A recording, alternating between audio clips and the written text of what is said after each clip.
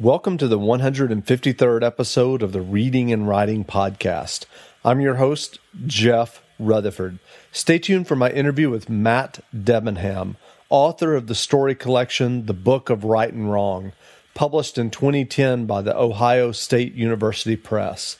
Stay tuned for the interview. The Reading and Writing Podcast is sponsored by the book loving nerds at Riffle. Riffle is an online book community that connects readers with authors and books that they'll love. Readers use Riffle to find the next book that they want to read, and authors use Riffle to make their books stand out and drive sales. Join the Riffle community today at rifflebooks.com. That's R I F F L E B O O K S dot com, and look for the link in the show notes as well. Welcome back to the Reading and Writing Podcast. My guest today is Matt Debenham. Matt is the author of the story collection, The Book of Right and Wrong, which was published in 2010 by the Ohio State University Press. His stories have been published in The Battered Suitcase, Roanoke Review, The Pinch, Painted Bride Quarterly, Dogwood, and North Atlantic Review. Matt is also the host of a relatively new podcast about books and reading. The podcast is called What Are You Reading? I highly recommend that you go and download and subscribe to his podcast. Matt, welcome to this podcast. Thanks, Jeff. Thanks for having me. Sure, sure. Well, uh, at the outset, what are you reading? I should always be better prepared for that question. Um, I am. Uh, I am reading. I've been. I'm, I mean. I'm. I've mentioned this. I think on a on a probably a couple of my own podcasts, uh, but this this will probably be new information for your listeners. But I, I've been reading um, Glen Weldon's uh, fantastic nonfiction book called Superman, an unauthorized biography, um, and it is it's great. And actually, why it's taking me so long is because I started the Weldon book, and then he instructs the reader to to if they want more information about the early days of Superman, and in particular the um, uh, the the creators Shuster and Siegel um, that they should they should check out a book called Men of Tomorrow, um, which, as it happens, I had sort of put aside uh, some months before. So I actually followed Glen's advice, put his book down, went to read, and I and I finished up uh, Men of Tomorrow, which I highly recommend. I don't have the author's name at my fingertips, but I can bring it up in a moment. Um, but it's about the the early days of of the comics industry, and actually, um, uh, I, I'm trying to think if if he just uses a lot of the same sources as Michael Chabon did for the Adventures of Kavalier and Clay, uh, or if uh, Michael Chabon possibly had used this book um, as some source material. But the the intersection of several of the um, not just the motifs, but uh, but of several actually early scenes. Like there's one scene where um, I'm probably going into too much detail, but that's okay because your your podcast is all about uh, uh, reading as well. Yeah. Um, but um, the uh, the early comics creators, I mean, it's fascinating. Like there are gangsters involved. You know, like you. Rec- here's the thing: it, you you think it's just nerds. It's not. You will read this book, and in the first hundred pages, you'll recognize several names from Boardwalk Empire, for instance. So there are like some high level, high profile gangsters involved in the early comics industry. Um, and a lot of the writers would sort of be be and writers and artists would be sort of sweatshopping it uh because they would just crank these things out. And i mean they sold really well. Like at one point uh i think superman was selling possibly 2 million copies every time which wow. i don't know that comics sell that well on an individual basis anymore. I don't know. Um but uh but so yeah they, so they'd be they would just be huddled in these sweatshops just cranking stuff out day and night and if you've read Kavalier and Clay, they do this. And, and in one scene in the Men of Tomorrow book, they are um, uh, they are uh, uh, in a garment district uh, office with with no real provisions. I don't think there's even plumbing there.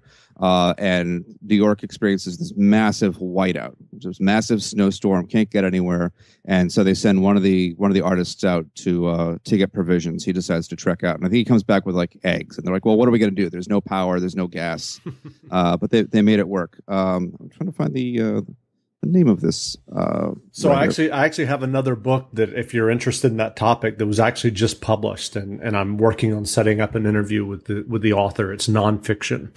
Um, it was published in June. It's called Superboys: The Amazing Adventures of Jerry Siegel and Joe Shuster, the creators of Superman.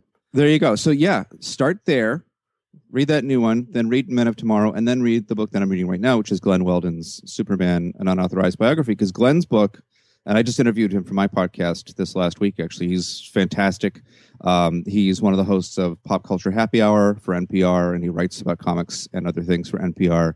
Um, but Glen's book is uh, is is really terrific, and it really just considers Superman, the character. So it's not as much about the history um, of the creation of Superman as it is the history of the character. Um, the author, by the way, of, of Men of Tomorrow is Gerard Jones. Got it. Got it. So I, I don't want to, this to seem like I'm trying to recreate an episode of your podcast, but, but I, I, was curious. What what were kind of the formative books for you uh, when you were a kid, or or even later as a teenager? Oh yeah. Um, oh, that's no problem. Um, I was actually a relatively late reader. Uh, I couldn't read at all through, I believe, kindergarten, um, and was really embarrassed by that and sort of struggling with it. And and you know, later, and I mean, like when I was in my 30s, I discovered that I had probably grown up um, ADHD, and then possibly also with this thing called a, a nonverbal learning disability, which one of my sons has. Um, but I didn't know that at the time. My my mom said, "Well, we just we just thought we'd take you off sugar," um, and so that's that's what you did in the early '70s. But um, so I, I, think that probably contributed. I'm gonna guess to my my my uh, late blooming reader status. But I learned to read. I believe it was the summer between kindergarten and first grade, and um, with the help of the easy reader Morgan Freeman on uh, on uh, Electric Company, as a matter of fact. Um, and the nice thing, that. the nice thing is, I got to meet him once, and I got to thank him for teaching me to read. uh, and then I had to watch while his wife uh, made him hold uh, her purse, even though he was about to do an interview. She was very mean to him. But anyway. that's a whole other thing. Yeah. Um, but uh, so I remember the um, actually the the Ezra Jack Keats books, um, which I read in first grade. And so when I learned to read, I, I just I went at it with a vengeance and it was just making up for lost time. And also I had a really, really nasty first grade teacher, Mrs. Ballantyne, who would she'd do stuff like hold you in at recess and scream at you if you got a D on something. And she was grading in first grade, by the way. I don't know if kids today get to experience that until like, geez, fifth or sixth grade, probably. Um, but she was grading A, B, C, D, and uh, she would she would hold me in and, and, yell at me for getting a D on something. Um, but the one thing that that would impress her was my reading ability, uh, and so I aimed everything at her. Uh, and I remember a lot of lot of Maurice Sendak, but the the stuff that really um, that sort of turned the key in me at an early age was Ezra Jack Keats. Um, goggles in particular um, was was amazing, and it just it just was this world that I wanted to live in. Um, and it was interesting. Yeah, it's interesting to look back at that. My kids went both went through an Ezra Jack Keats period, and and it's I'm always curious as to what it is that kids um, gravitate towards in those books. I just that they're gorgeous. Um, if you've never seen one, pick one up because they're they're these great sort of the backgrounds are are often um, collages. Um, he seems to paint over newspaper a lot. So there's little scraps of, of newspaper stories sticking out everywhere. It just looked unearthly to me, and yet so weirdly familiar.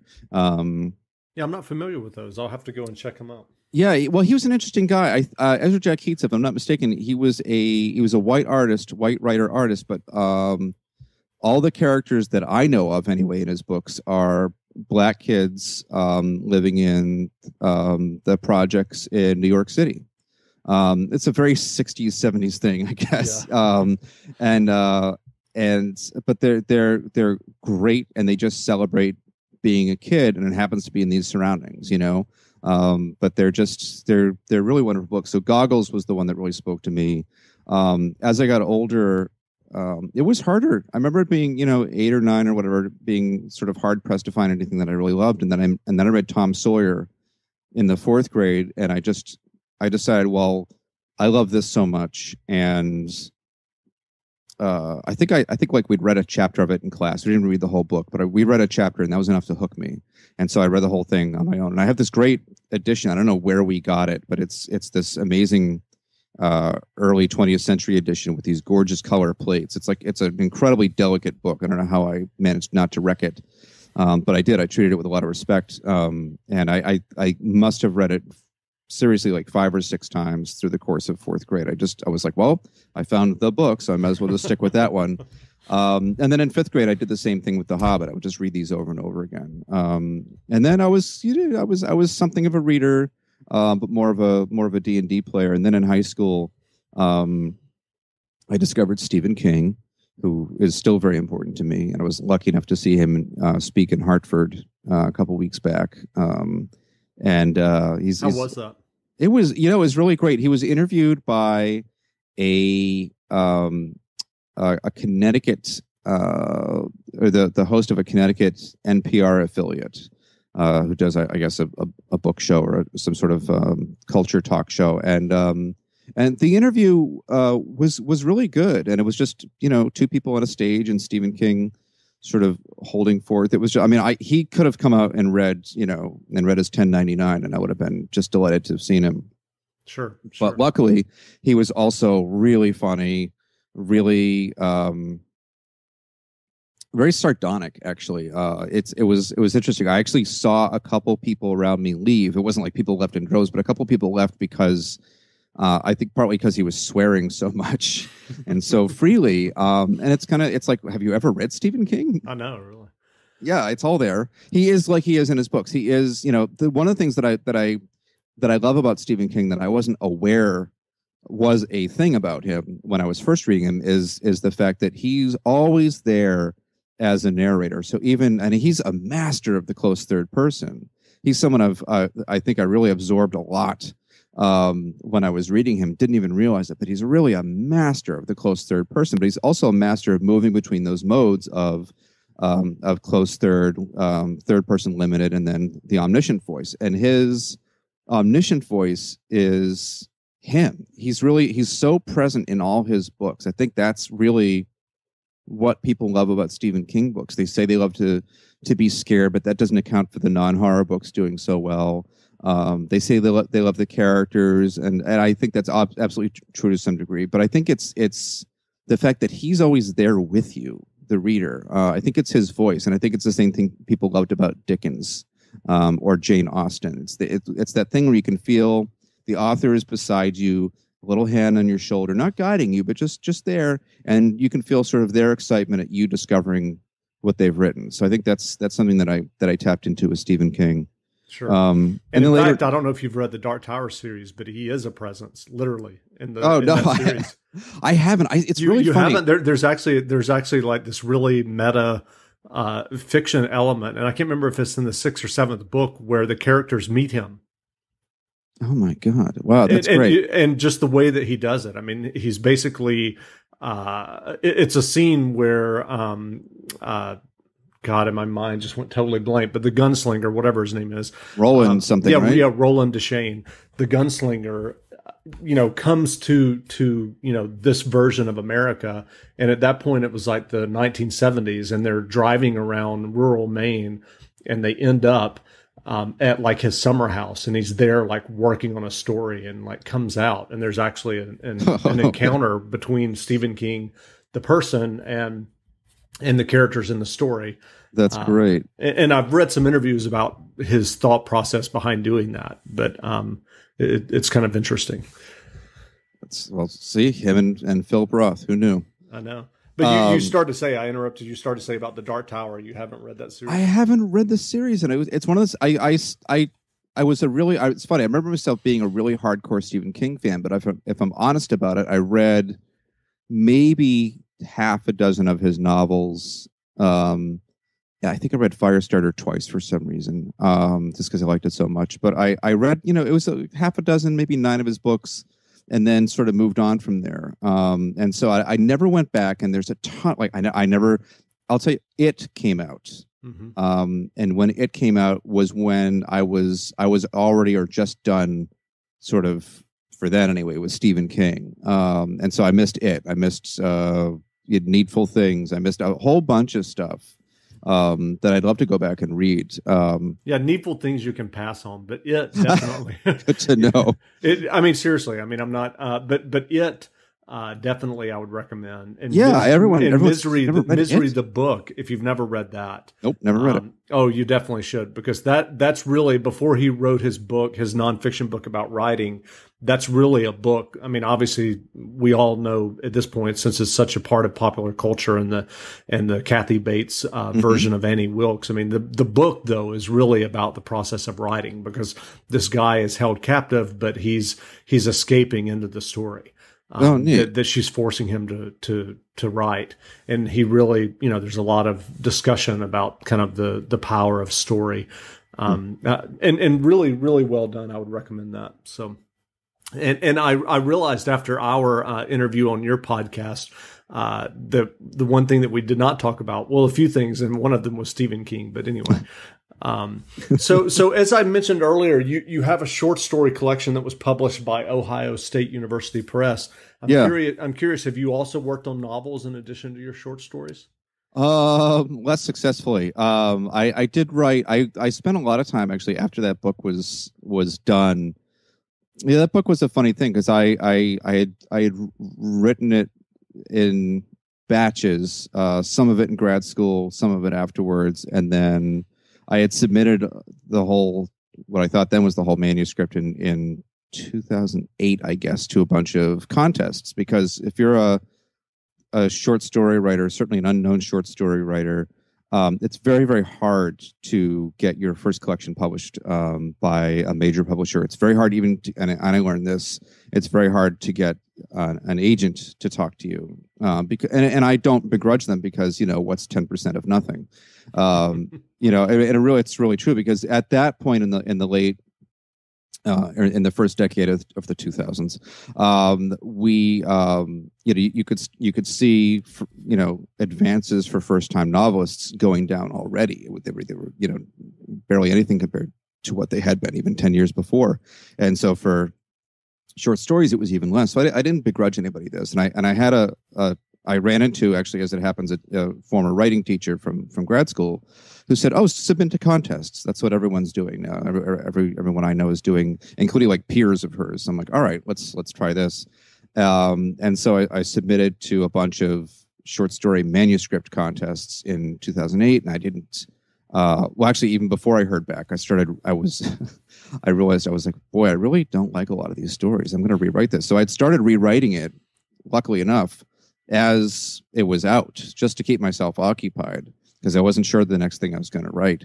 Uh, and so um, I heard back that I did not win any of the contests, and I was like, "Oh, that's fine," because this is going to be so much better. So I spent the next, you know, uh, most most of the next year rewriting the manuscript, including adding uh, a completely new story um, called "Failure to Thrive," um, and uh, just as a, I was like, well, I, I think I think the story belongs in there.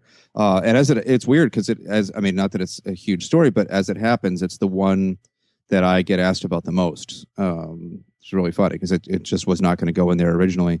Um, but I submitted everything in in 2009 to a, a, few different contests, and and I got the call from Ohio State University and just cried, just wow. absolutely cried. Uh, and so, but then the next X number of months there, um, it was was a lot of just sort of waiting. Um, and um, you know, it's it's a it's a small press. It's a university press, and they don't have a huge staff. And so, actually, I was the editor in that book. Um, I was not the copy editor. There was a copy editor who would who would come back and say, you know, uh, you know, this this wording is weird, or you know, consider you know deleting uh, or not deleting, but uh, you know, should this be capitalized? It was it's all that kind of stuff. Um, but uh, during that process, I would try to sneak, I would try to change some of the lines or try to sneak new phrasings in as I was reading through it for copy editing, and I'd get them in but they're like you can't change like we took the book so you can't really change the essence of, of these stories. Um, so luckily i was pretty happy with them and, I, and i'd reworked them a, a good amount by the time it went in. Um, so yeah i was i was effectively the editor for the for the book um, or you can say alternately it went unedited. Um, so you know what you see is is what you get i guess. Um, but um, so after that after that was in and all done i was waiting for it to come out. I started working on a novel and I wrote a 550 page novel um, that was uh, about a few things, but it was largely about a uh, actually a male. It was a comedy about a male stripper. Um, strips for women. He's always adamant about that. Um, and and he, that, but that industry is sort of changing and crumbling. Um, and or it was when I was writing the book. Um, and I, I finished the book, and then um, I think Magic Mike was about to come out, which I still haven't seen, but it just took the wind out of my sails. I was like, oh shit, they're like writing about kind of the same thing. And I, I realize now it's not the same thing at all. It's it's complete. I, I think the guy's pretty successful in Magic Mike, and my guy is just not. Um, and the reality of that of that industry, um, I didn't. I didn't. It's funny. I, I want. I kept making an appointment to go see this one because they they they.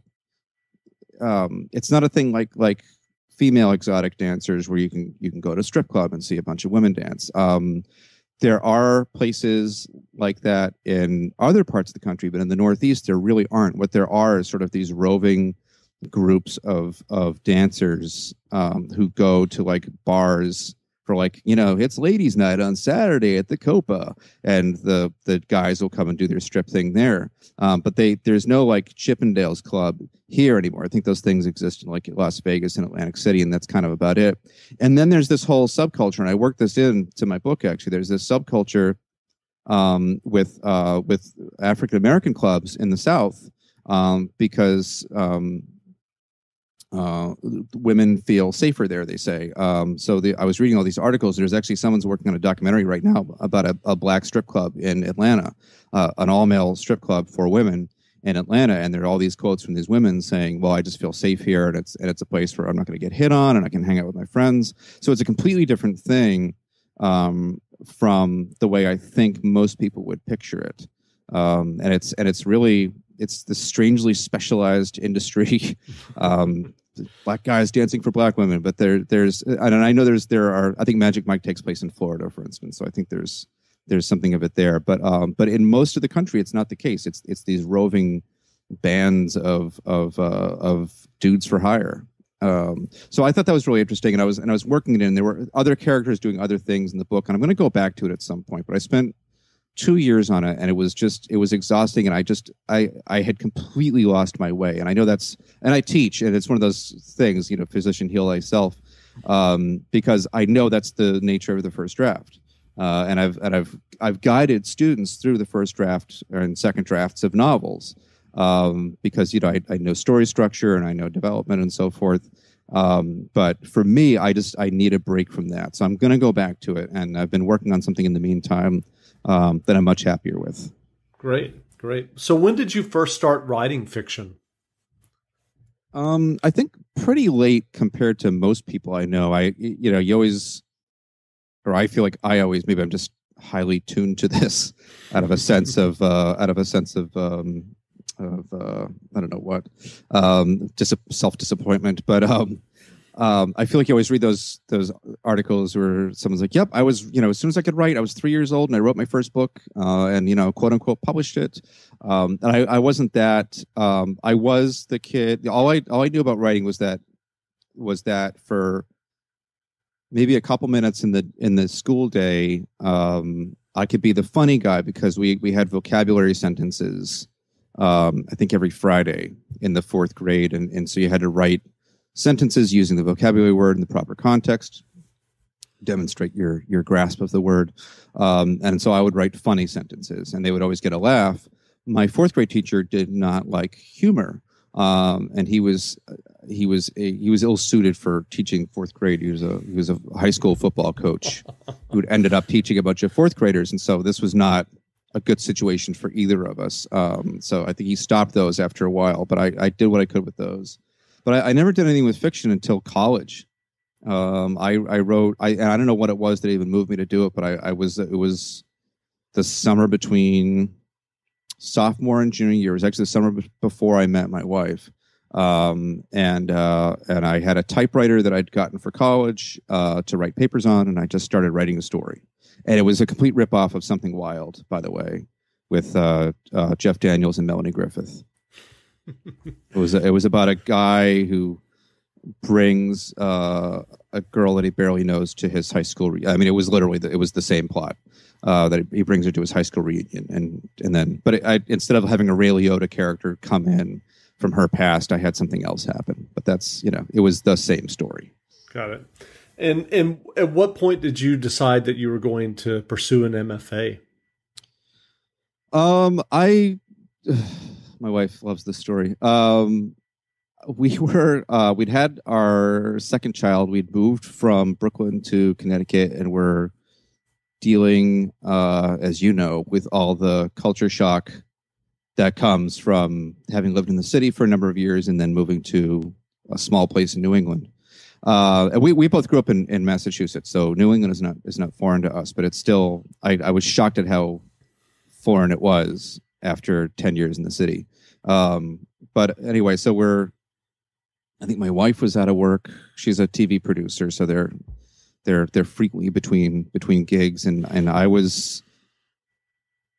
I was doing freelance public relations for a couple different companies, but it wasn't quite coming together and we just had this talk. I was very unhappy, and oh, and I'd been to, um, I'd been to a, a week of, uh, uh, sorry, a week long um, writers workshop at uh, the Fine Arts Work Center in Provincetown, Massachusetts, which I recommend to anybody. They have fantastic writers teaching there.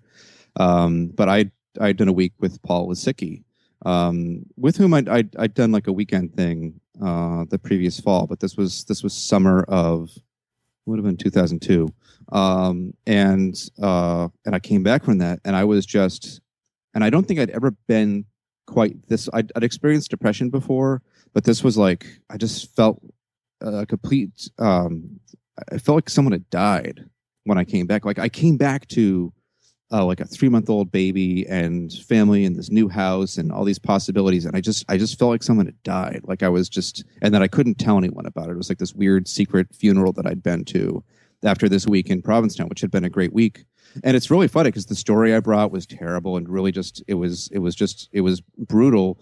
And, at one point it was like this, it was an excerpt of a novella that I'd written actually. It was a 20, we had 20 pages. Um, and I, I, thought it was so fantastic. And I brought in copies for everybody. We passed them around, and then uh, we got to my day, and and everyone was like, "Well, you you know, you really you spent twenty pages, kind of uh, giving a lot of her thoughts."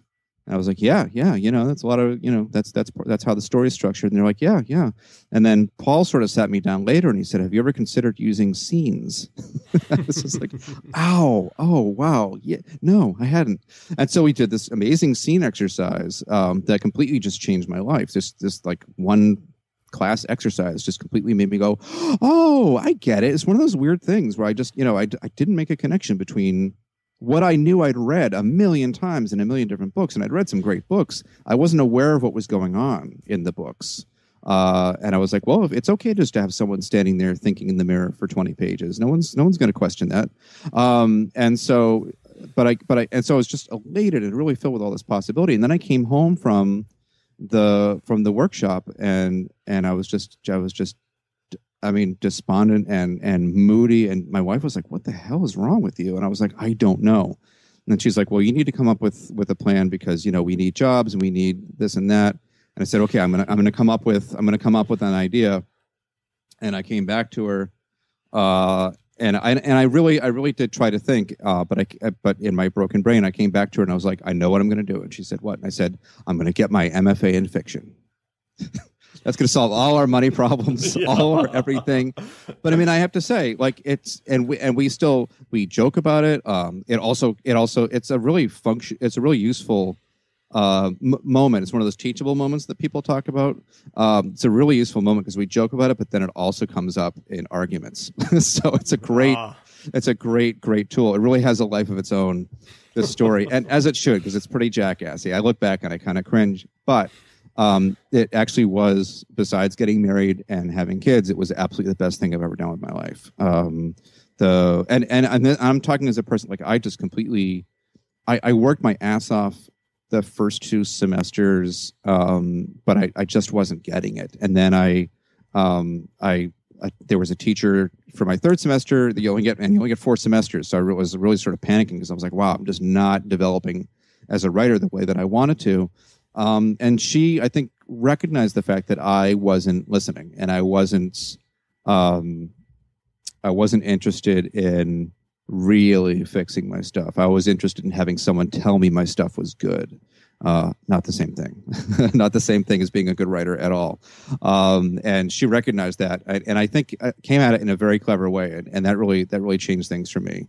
Um, but it was it was a fantastic experience, and I still have wonderful friends from then. And and what was that process like for you to to to be, you know, having read all of these hundreds of books over the years, if not thousands, and then oh, not you, thousands. Okay, well, as, as, as you as you mentioned, um, you know, writing the scene of the woman, you know, for twenty pages, standing in front of the mirror, and, and it's her thoughts, and and what and and you know, you were saying the first two semesters, what was the process like for you to to learn how to kind of craft a, a narrative and to craft scenes? What was what was interesting was that so by the time I got to to Bennington, I was I was writing scenes out the wazoo. I mean, I, I was great at scenes. Um, what I wasn't great at was adding them up to anything, um, and and what I wasn't great at was um, was editing myself, and um, I wasn't great at. And I think, and I know that my second semester teacher, who's this amazing patient woman, uh, whom I'm so glad I'm still friends with her, uh, named Alice Mattison. Uh, she wrote a great book, uh, a number of great novels, but one called The Book Borrower that listeners might know. Um, and uh, she's a she's a Connecticut resident like me. Um, but she uh, she recognized that I was not being true to my characters. That I was constantly trying to maintain control at all times, and that I was trying to push them to do certain things because I wanted to achieve a certain effect. And I think she recognized, uh, as my my next teacher did, Mary Beth Hughes, that I was um, I was not interested in the least in what the the story was really about. I was interested in what I wanted the reader to get out of the story. Those are two very different things. So Mary Beth's idea with me, because I, I, brought in for her for her workshop, I, it was her and David Gates, um, and uh, and the story did okay, um, but it um, in terms of feedback, but I knew there was something wrong with it. And it was, and this was a big turning point because I was like, I know there's something I'm doing here that I've done all along that I thought was working that is possibly the thing that Alice has been trying to tell me about. Uh, but I couldn't put my finger on it. And and someone I don't remember who it was in the workshop just said it just seems like a pile like a like a car crash of like events and like and you're hoping that it, it'll add up to something for us and I was like, "Oh, got me," you know, because I know I'm sure at the moment I was like, "You don't know what you're talking about," um, but in my mind I was like, "Oh, they got me totally. They nailed me. They nailed me." And so when I met with with Mary Beth to talk about how we were going to work over the next semester, she said, "You know." Um, that story was pretty long for what happened in the story. And I was like, really? It's only 20 pages. And she was like, how long have your stories been on average? I was like, oh, I've, i was turning in some 40 page stories, uh, some 30 page stories. And, you know, this is like Alice Munro can get away with that, you know. Um, it, there there are writers who can who can who can turn out a great forty page story. Um, I, in my second semester of getting my MFA, was not one of them, um, and I think Mary Beth realized that okay, this is this is part of the problem, and so she said. For our semester together, you are to write 20 pages maximum per month. And I was like, that's nothing. That's, I can do that. Um, and she said, but you are going to write more than one story. And I was like, oh, that's a problem. Because um, I'd never written anything shorter than 20 pages. I just, I just would write and write and write. And I would never edit and I would never, because I was, I would never, I was afraid to ask myself, what is really going on here? What is the story about? I would just say, well, it's entertaining. It moves from point A to point, to point B to point C. It tells a whole story. That's enough. And it's, and there's another ingredient that I wasn't considering um, and that's the story underneath the story. In other words, okay, so you know, this story is all about a two people in a bank robbery, and and they, you know, whatever. But you know, what is the story really about? Um, and you know, any story that you like, whether it's a short story or novel, any any tale or story that you like, um, as an adult, I think if you look at it, you realize it is about something other than purely what happens on the page. Um, and so that was a big that was a big deal for me, and so that that kind of broke me in a really good way. Um, and I and I wrote my first ever. I, I not only I took her challenge. I not only wrote under twenty pages, but I think I gave her 15 pages. Um, I gave her one 10 page story and one five page story, and they both ended up going into the book in very, very different versions uh, a couple years later. But, um, but I, yeah, I wrote a five page story and I couldn't believe it. That's great. Well, I know that you teach creative writing yourself now. How do you think that teaching has has impacted or changed your own fiction writing? It's interesting. I've I've heard other writers say this. Um, it's it's a mixed bag, truly. Um, on one hand, I have learned so much in teaching because, you know, this is probably obvious to your listeners, but it wasn't. Again, I'm a little slow in the uptake. I, I have trouble making connections sometimes between things. um, but um, I, I, learned really quickly that that um, the way I understand it has to be uh, phrased in such a way that a group of people is going to understand it. And I and I I realized after about class one or two, I was like, this is, I got to find a new way of explaining this stuff. Um, and so it, it forces you to, um, to consider things from other people's point of view. Uh, it forces you to really be able to verbalize your ideas about storytelling. And it seems like that'd be an easy thing because we all grow up, you know, we, we, some of us are read stories while we're in the womb. Like we grow up with stories, it's in our blood. And I think it's, and I think storytelling is, is a, is a primal urge. I think it's in us. Um, and um, you know, they always talk about how how some huge percentage of our DNA is just junk left over from from uh, you know prehistoric days, and I think you know, part of that junk might be storytelling. I think it's just in us.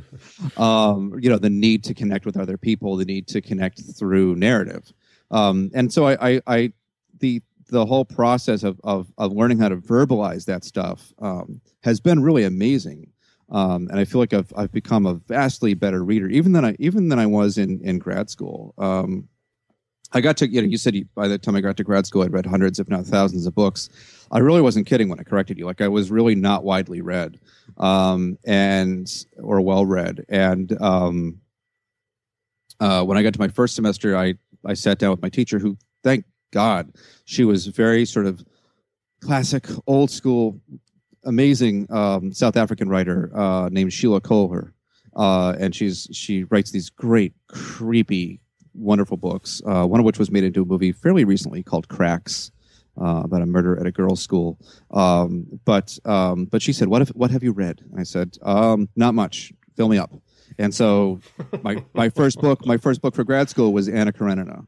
Uh, and then from there, I think I read uh, David Copperfield, and then I read, um, uh, I think I read Crime and Punishment, like all these things that I should have read. I read Scarlet Letter for the first time in grad school. Um, just all the stuff that I should have read probably in high school or at least in college. Uh, I finally read in my early 30s in grad school, and it was it was great. Um, and so I, have become a much much smarter reader even since then, though, because for my students, I have to think constantly. Okay, but how does this work? How does this work? Um, you know, it's it's it's not enough to know that you know. Um, you know, so and so is is is you know has great dialogue. You can't just hand a student a story and go, "This has great dialogue." Uh, enjoy, you know, learn something from it. You have to talk about what it is that makes the dialogue great. And so, as I've taught, I've taught for four years now, which is not an enormously long time. Um, but I, I, teach in a variety of settings, and that's really been fantastic in terms of challenging me um, uh, to come up with new ways of, of explaining things and demonstrating things, um, demonstrating aspects of, of fiction and craft.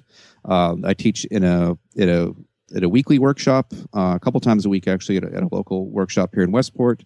Um, I taught online for UCLA uh, for their extension uh, writers program, which is which is to teach online is a completely different thing. You don't have anyone in front of you. You've got to write it all out. Like it really, if nothing else, it'll make you into a good blogger. Um, and then uh, and then I've taught. Um, I taught undergrad. Uh, I did a PR writing course last semester um, at West Western Connecticut State University, and I've also taught in the graduate course, uh, graduate uh, the MFA the MFA program there, which I'm still in, and still teaching in. Um, and all those settings are completely different. And I've taught workshops in a couple of different settings, and even the workshop between, let's say, the local like a if I do like a, a three hour craft workshop on a Saturday. Um, that's all about scene, ha ha ha. Uh, which now I can teach that workshop because uh, now I know what scene is. Um, I I'll teach it I, I, taught it at WestConn and I taught it locally here, and it was a completely different experience, even though I was using the exact same PowerPoint. The whole the whole thing was a completely different experience because of who I was teaching, because of the ages, because of the experience level, because of uh, the environment. It was just completely different. So you, you do learn a lot of those things, um, and and it's really invaluable because you really do learn about your craft when you have to talk about it. Um, but at the same time, it is like I said, it's a mixed bag, and I think one of the things is that, and I'm trying to.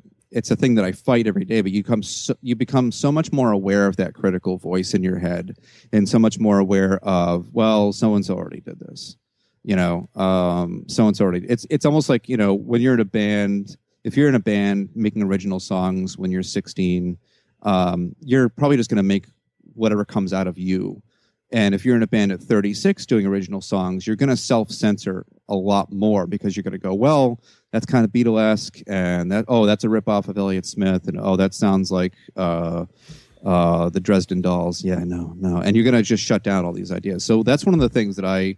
Um, I wouldn't say struggle with, but that I that I work against. It's it's an added little companion um, to my workspace when I write fiction is is this idea of just shutting off that critical voice, which I think is you know it's helpful to be able to do because I'm certainly not the, not the first author who's who's also a teacher.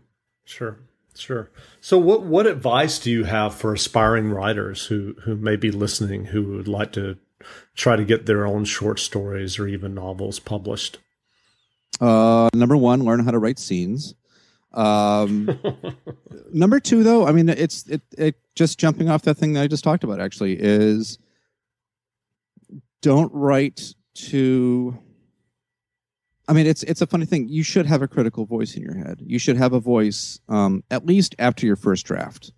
Let's say I, I always tell my students write your first draft um, with a sort of like you're sort of like a hippy dippy everything goes kind of guy. Um, and so you're like, oh, it's all good. Whatever goes in there, whatever comes out of me is good. But then your subsequent drafts, you want to be the hippie's older surgeon brother. Uh, you know, all right, this is shit. This is crap. Just just cut this. Just cut this.